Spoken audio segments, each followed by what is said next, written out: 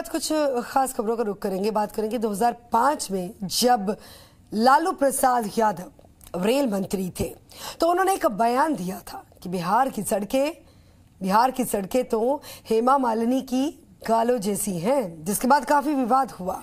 और इस विवाद से मध्य प्रदेश के तत्कालीन मंत्री पीसी शर्मा, छत्तीसगढ़ के मंत्री कवासी लखमा और यूपी के मंत्री राजाराम पांडे भी अछूते नहीं रहे। उन्होंने भी समय समय पर सड़कों के साथ हेमा मालिनी के गालों को जोड़कर बयान दिए हैं।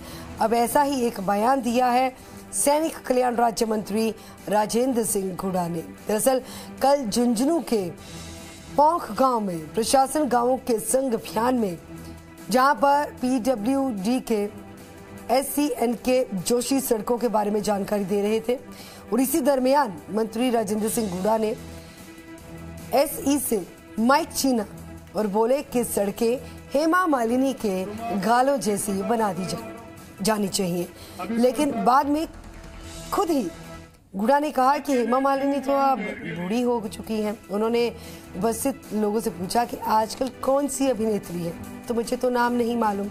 तो लोगों ने कैटरीना कैफ का नाम दिया। इसके बाद गुड़ा ने कहा, सुनो, ऐसी साहब, सड़कें कैटरीना कैफ के गालों जैसी बननी चाहिए। इसके बाद मौके पर खूब ठहाके भी लगे।